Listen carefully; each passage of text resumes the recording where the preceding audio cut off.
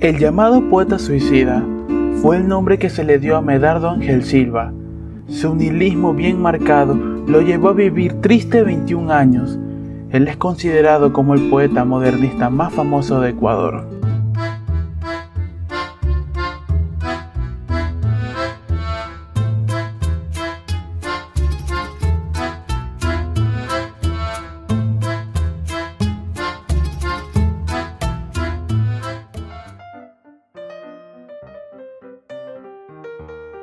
Nació un 8 de junio de 1898, hijo único de un matrimonio, descendiente de una familia de músicos.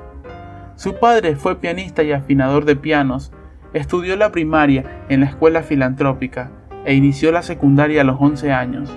Decían los rumores que él de niño se acercaba a ver cómo llevaban los ataúdes al cementerio. Debido a distintas circunstancias, abandonó sus estudios y empieza a trabajar en imprentas, así mismo como profesor secundario. Vivió en la casa de sus padres junto a Ángela Carrión Vallejo, con quien tuvo su única hija, María Mercedes Clofe Silva Carrión. Desde temprana edad escribe versos que envía a periódicos locales. Sin embargo, tuvo que esperar algún tiempo ver publicados sus escritos. Fue en la revista literaria Juan Montalvo que tiene su primera aparición pública. En delante su carrera sería imparable. Se dio a conocer en los círculos literarios, hasta merecer el respeto y la admiración de poetas, escritores, periodistas, entre otros, con los que mantenía amistad y correspondencia. Trabajó en el diario El Telégrafo. En una habitación se encontraba un piano.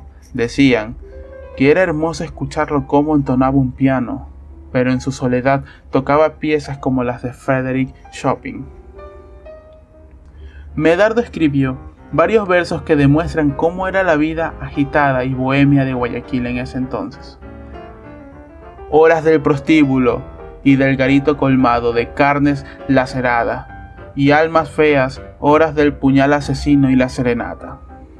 Silva también describió escenarios donde se afincaba el vicio, los fumadores de opio en ese entonces estaban ubicados en la calle Escobedo, la calle maldita, como se la conocía. Sobre las esteras, poco a poco, se van percibiendo los cuerpos tendidos. Hay hasta nueve fumadores. El olor del veneno satura la pieza. Escribió bajo los seudónimos de Jean Degré y Oscar René, que adoptó en 1915 de sus obras fueron publicadas María, Jesús y El Árbol del Bien y del Mal.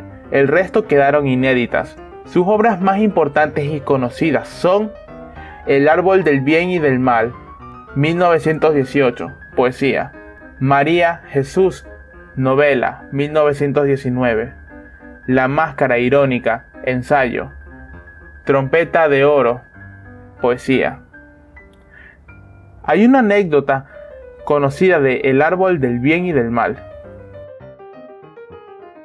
Y que un día retorne a ti, cuando esté mi cuerpo maduro para la eterna cosecha, y me lleven a dormir el largo sueño en el herboso cementerio del pueblo, y que de mi carne dolorida brote después un ramo alegre de florecillas, de los campos en, en cuyos cálices beban las gotitas del cielo, las irisadas mariposas campesinas, y los egrestes pájaros.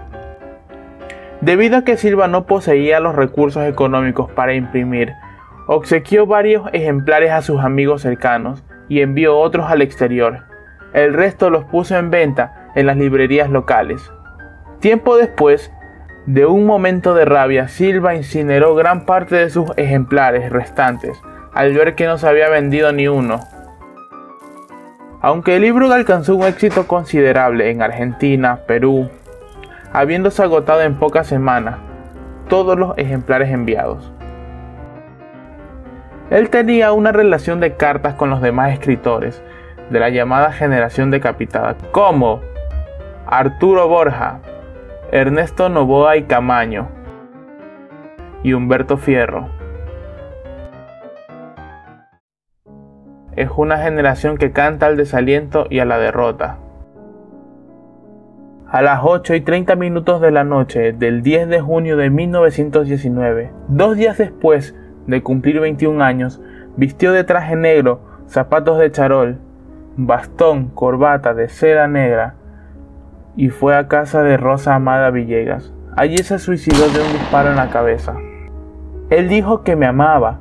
Tendría yo entonces entre 14 y 15 años, muy joven, escasa experiencia, fácilmente sugestionable Fuimos enamorados corto tiempo. Si yo lo hubiera amado realmente, jamás habría sido feliz a su lado. Testimonio de Rosa Amada Villegas. Nadie olvida el alma en los labios, que según la leyenda escribió a pocos días de suicidarse a mano y con tinta roja. Los versos que dedicó a Rosa Amada Villegas son cantados como pasillo hoy en día. En la reconstrucción de la escena del suicidio, Adolfo Simmons revela textualmente, después de unos minutos de charla con la chiquilla y con la madre, pidió permiso a la señora para hablar a solas con Rosa Amada en la sala. Él le indicó dónde debía sentarse. Le dijo cuatro veces, acércate más y atiéndeme cinco minutos. Y como era la cuarta insistencia, y cuando ella se disponía a acercarse, escuchó una detonación el poeta había muerto.